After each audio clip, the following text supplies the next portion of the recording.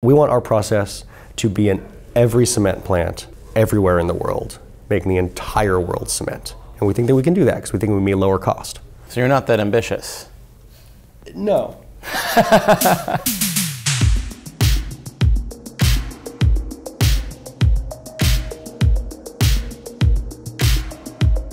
What are some of the metrics you use around how profound the carbon impact of concrete is? Concrete is the most consumed human-made material on the planet. Cement, most of the CO2 emissions actually come from the rock that is used to make cement. And that's why folks say it's difficult to decarbonize. At Brimstone, we don't actually agree that it's difficult to decarbonize. We just say it's different to decarbonize. It involves thinking like a chemist not thinking about energy. So at Brimstone, we make ordinarily Portland cement, the same cement that engineers and contractors are used to using today. Hi, I'm Will Wynn, and I lead our cement and SCM performance engineering here at Brimstone. When we think about carbon emissions related to the production of ordinary Portland cement, first we have to look at limestone. Limestone is one of the main feed rocks that produces Portland cement. So in order to use that limestone, we have to release CO2. And in the cement production, that CO2 is responsible for about 60% of overall CO2 emissions related to that of cement production.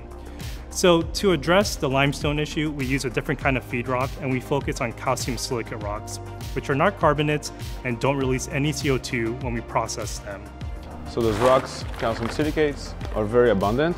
They represent around 50% of the earth crust. So we take these rocks that we turn them from you know hand size like we saw into powders and then they go on to getting processed. In the first step of the process when we extract the main elements from the rock, so this is what is done here. So this is our subpilot scale units that allow us to extract all the main elements. So once the elements are separated, we recombine them in order to make the product that we want. And we do this at high temperature in different furnaces. Once this part of the process is complete, then you know we, work, we go on and produce Portland cement, which look like this. Those are some, it's a glue that you'll mix with water and gravel in order to make concrete.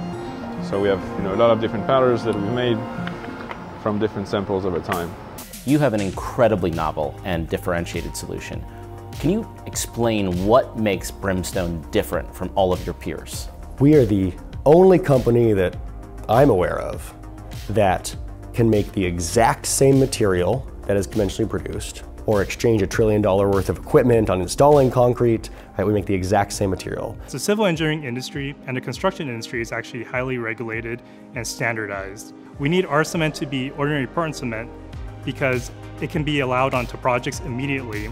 And for us to decarbonize the cement and concrete industries, we need our materials to be used immediately and not have a decades long program of testing to prove that our material is just as safe as ordinary Portland cement.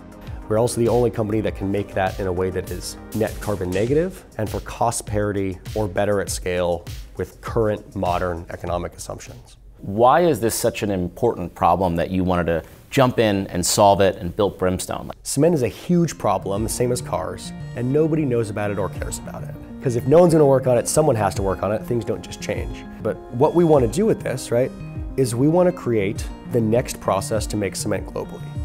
And how do we do that? By making a lower cost process that's also better for the world.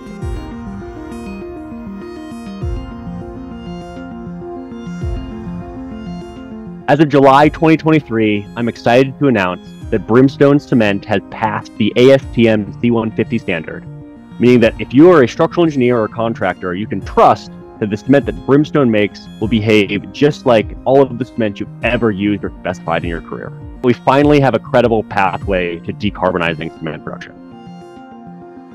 And what has it been like working with Fifth Wall? The word that comes to mind is unique.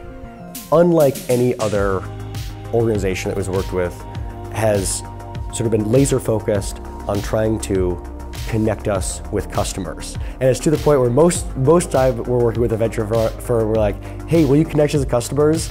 And when we're working with Fifth Wall, it's more like, hey, we don't have enough for, for your customers yet. Will you back off with connecting with us with customers? You know, and that's the exact place that, you know, we appreciate that. Like that's the exact place we want to be. I mean, we just could not be more thrilled with our investment in Brimstone. And I think the problem you are solving is incredibly ambitious, incredibly important, and we are just so thrilled to be partnered with you. Yeah, the feeling is very much mutual.